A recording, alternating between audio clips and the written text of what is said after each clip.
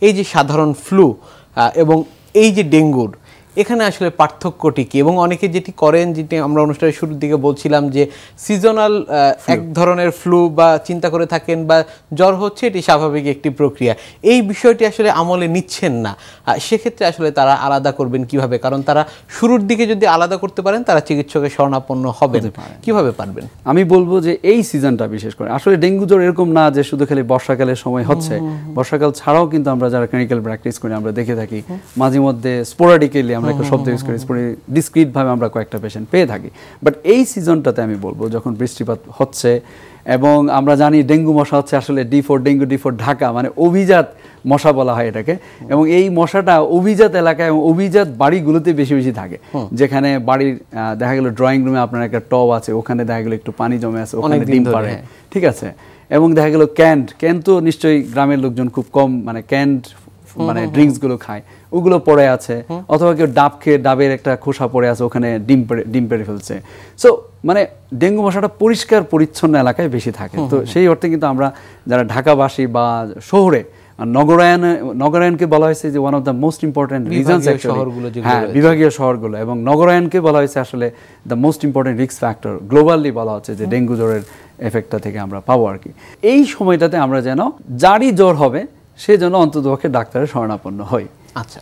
কারণ কেন? আমরা ভেরি ভেরি ডিফিকাল্ট অ্যাকচুয়ালি সাধারণ মানুষ হিসেবে জ্বরকে ডিফারেন্সিয়েট করা। হ্যাঁ ফ্লু মানে হচ্ছে আমরা বলি যে একটু রানি নোজ হবে ফিভার হবে কিন্তু হাই গ্রেড ফিভার সাডেনলি কিন্তু হবে না। হোল বডি এক হয় না। এবং এটা আমরা টিপিক্যাল ফিচার্স বলছি কিন্তু টিপিক্যাল মানে হচ্ছে যে যেই রোগের যেই লক্ষণ থাকা উচিত সেই ফিচারগুলো থাকে কি আমাদের মেডিকেল ভাষায় টিপিক্যাল বলছি। কিন্তু এগুলো ছাড়াও কিন্তু ডেঙ্গু জ্বর নানানভাবে প্রেজেন্ট করতে পারে। এই জন্য আমরা বলি যে কোনো জ্বর হলেই এই সিজনটাতে যেন অন্ততপক্ষে ডাক্তারের শরণাপন্ন হয়। ডাক্তার কি করবেন? আপনার একটা ছোট্ট একটা ব্লাড টেস্ট করবেন এবং পরবর্তীতে ডাক্তার যদি মনে করেন যে আসলে ডেঙ্গু জ্বর এবং এই সিজনটাতে আমরা আসলে সবাইকে ন্যাশনাল গাইডলাইন্সও বলা আছে যে আমরা যেন ডেঙ্গু জ্বরের যে টেস্টগুলো আছে আমরা সাধারণত বলি এনএস ওয়ান এন্টিজেন টেস্ট আবার কিছু অ্যান্টিবডি টেস্ট আমরা করে থাকি। এটা ডাক্তার তার সময় অনুযায়ী আপনার জ্বরের ডিউরেশন অনুযায়ী স্পেসিফিক্যালি আপনাকে সেই টেস্ট করতে হবে সেটি বলে দিন। এবং আরও একটা গুরুত্বপূর্ণ বিষয় যেটা আপনি যে কথা বললেন যে জ্বরটা যখন কমে যায় দিস ইজ আমরা বলি যে ক্রিটিক্যাল পিরিয়ডে পেশেন্টটা চলে যায়। কারণ জ্বরটা যখন কমতে থাকে তখন ডেঙ্গু জ্বরের সিরিয়াসনেস এবং ক্রিটিক্যাল পিরিয়ডটা শুরু হয়। আমরা জ্বর যখন কমে সেই পর্যায়টি নিয়ে কথা বলব। তবে তার আগে আরেকটি বিষয় আপনার কাছে জানবার রয়েছে সেটি হচ্ছে পরীক্ষা নিরীক্ষার বিষয়টি যেটি আপনি বলছিলেন। সেক্ষেত্রে আসলে অনেকেই যেটি করে থাকেন সেটি হচ্ছে সচেতন হয়েছে মানুষ আগের চেয়ে। অনেকে আসলে নিজেরা যেই দেখা যায় ডেঙ্গু এনএস ওয়ানের যে টেস্ট আছে সেটি করছে।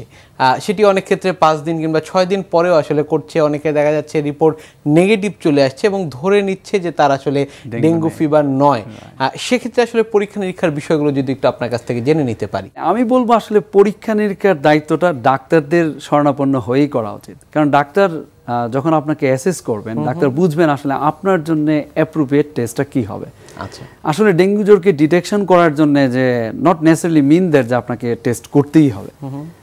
যখন এই সিজনটা চলে আমরা এমনও পেশেন্ট যারা আর্থিকভাবে সচ্ছল না তারা কিন্তু টেস্ট করতে পারেন না। তাদেরকে তাদেরকে কিন্তু আমরা না টেস্ট করে অন্তত পক্ষে আমরা ডেঙ্গু জ্বরের স্পেসিফিক টেস্ট না করে আমরা কি করি? মোস্ট ইম্পর্টেন্ট হচ্ছে সিবিসি করা। মানে একটা কমপ্লিট ব্লাড কাউন্ট করা। And this is possible for anywhere এবং ওটা দেখছেন সাথে ক্লিনিক্যালিও দেখছেন ক্লিনিক্যালি আমরা দেখছি।